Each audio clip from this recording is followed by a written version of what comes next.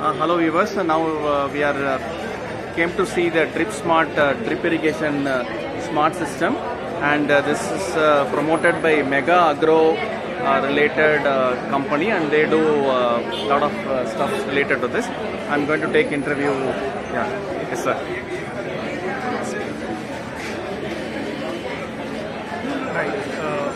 We are Megha Agrotech and we have come up with a product called Drip Smart. Drip Smart is an autonomous uh, farm actually. Uh, earlier we used to see a lot of automation thing happening in irrigation and fertigation. But we call it as an autonomous farm because it works predominantly on the basis of artificial intelligence and machine learning uh, where uh, sensors are installed in the field level with uh, zero wire, zero wiring. Uh, there are predominantly three sensors installed at the field level. One is uh, temperature sensor, moisture sensor, and humidity sensor. It works more like a uh, local weather station. So each information is transmitted to the master controller, which is uh, we have a private LoRaWAN uh, network gateway, uh, where it uh, the computing happens at the cloud level and uh, information gets exchanged with our controller called WaterSense, WaterAid we call it as. And uh, for fertigation, we have a controller which is called NutriAid. Okay, so uh, on this basis, each and every data is uh, uh, interchanged uh, on real time and uh, exchanged with the master controller. And the system takes its own decision based on the soil moisture level. If the soil moisture is less and the evapotranspiration is more, then uh, it irrigates automatically.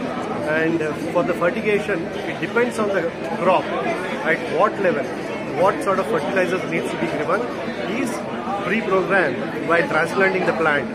Once the plant is uh, uh, transplanted and at different growth levels, the different types of fertilizer is fed into the system. And uh, one thing, what it intelligently works is, if we are forecasting rain in next half an hour or one hour so, if the fertigation or the irrigation is scheduled to happen, it will immediately stop the fertigation as well as the irrigation, so that it can we can save a lot on fertilizers because when it rains, if you uh, give uh, fertilizer before rains, the leaching will happen.